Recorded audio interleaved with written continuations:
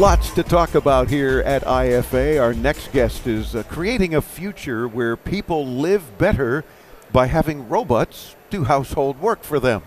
And of course, that may very well be the start of a lot more cool things going on.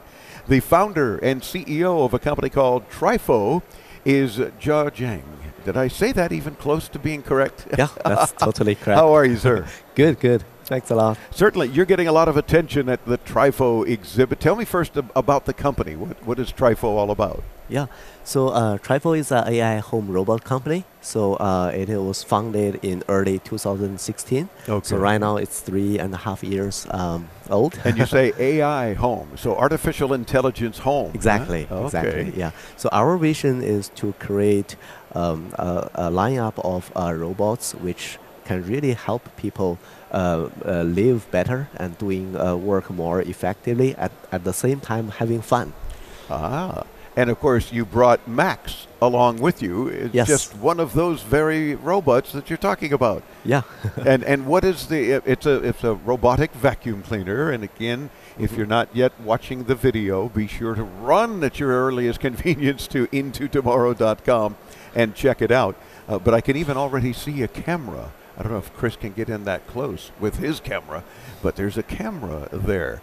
What would the camera be doing on the robotic vacuum? Yeah, that's a very great question. So uh, we specially designed uh, Max to have this uh, single camera.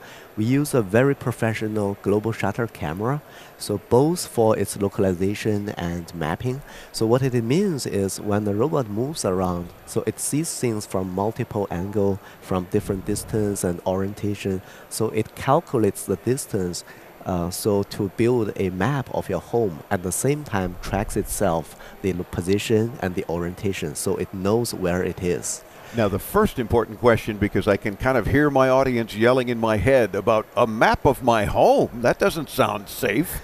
but I, I, I want you to assure me you're not getting that map or using that map or sending it to burglars or anything like that, no right?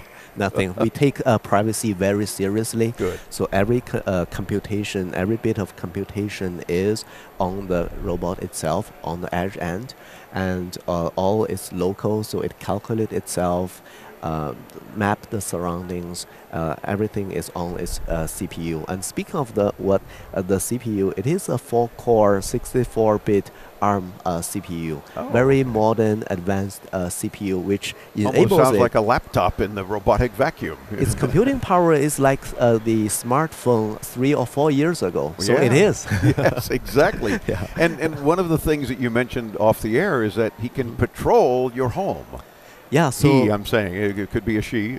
it. we, uh, yeah. but you, you're naming it Max. Max. So, So, it is he. we're going to yeah. assume he. All right. Yeah. Uh, and how does it patrol the home then? Do, you know, can we access the camera at any time? Is it storing video as it does its Uh-huh. job and keeps an eye on the house? Yeah, that's a great question. So, um, uh, what it sees is just a bunch of images, but uh, behind it, it extracts the salient points, what whatever is interesting to the robot itself, and then uh, calculate the distance of uh, the points it, it feels interesting, and only use all those sparse uh, 3D points to localize itself.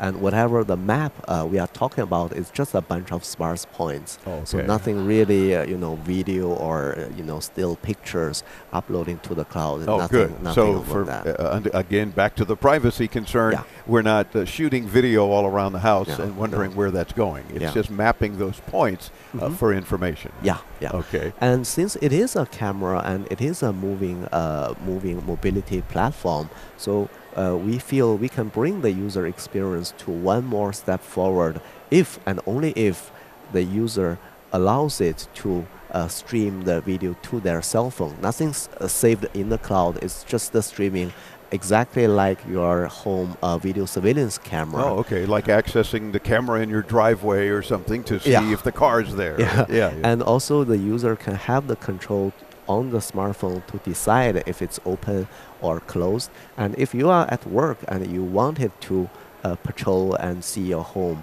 uh, for a video surveillance purpose, you can open it and check it out. And because it has uh, its own designed uh, route and where it's going, localize itself, so it can go automatically by its own, or you can manually control like a toy car. And Okay. it's very fun. so you can have it run around the house uh, at your leisure and actually Yeah. whatever direction you want to yeah, go. yeah. Oh, that's kind of cool. And one step further, we even put the uh, microphone uh, in it. So it's exactly like a video surveillance camera. You can see and hear what it sees and hear in your home. So Oh. this way, if somebody, uh, your family in your home, you can even like the two-way uh, video, audio. Oh, okay. uh, so you can speak to someone, maybe even say hello to the dog Yeah. yeah, if they're home alone. So your dog uh, is not alone anymore. Yes, exactly. Is it available now? Uh, it will be available in late October. Okay, uh, in US, year? In US first, and in Europe. Uh, that's why we are here. yes, in the U.S. first. All right, good job. yeah, we are based in uh, Santa Clara, Okay. uh, uh, uh, yeah, California, and then Europe uh, uh, probably early next year. Okay, terrific. And do you have a price yet for retail price? Uh, for now, the retail price in US is 449 US Okay. dollar. All right, Yeah. $449. Yeah. And more information at your website, trifo.com, T R I F O.com. Thanks for spending a few minutes with us. Delighted that you're launching a product first in the U.S., especially at this show in Berlin. We frequently hear, well, it's here, uh, you know, in, in Europe first, or it's in Asia first, and then the U.S. It's nice that being Santa Clara, California based, it's like, oh, that's home. You got to launch it there.